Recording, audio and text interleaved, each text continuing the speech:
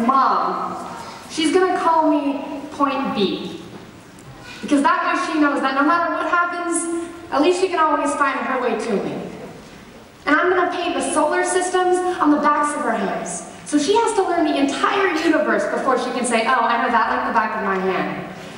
And she's gonna learn that this life will hit you hard in the face. Wait for you to get back up just so it can kick you in the stomach. But getting the wind out of you is the only way to remind your lungs how much they like the taste of air.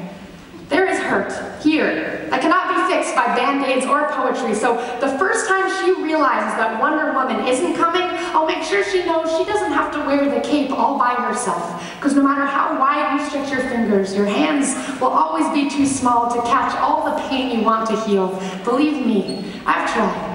I want her to look at the world through the underside of a glass-bottom boat, to look through a microscope at the galaxies that exist on the pinpoint of a human mind, because that's the way my mom taught me, that there'll be days like this, there'll be days like this, my mama said, when you open your hands to catch, and wind up with only blisters and bruises. When you step out of the phone booth and try to fly, and the very people you want to save are the ones standing on your cape when your boots will fill with rain and you'll be up to your knees disappointment, and those are the very days you have all the more reason to say thank you. Because there's nothing more beautiful than the way the ocean refuses to stop kissing the shoreline, no matter how many times it's sent away. But I want her to know that this world is made out of sugar. It can crumble so easily, but don't be afraid to stick your tongue out and taste it. Baby, I'll tell her, remember your mama is a worrier, and your papa a warrior, and you are the girl with small hands and big eyes who never stops asking for more. Remember that good things come in threes, and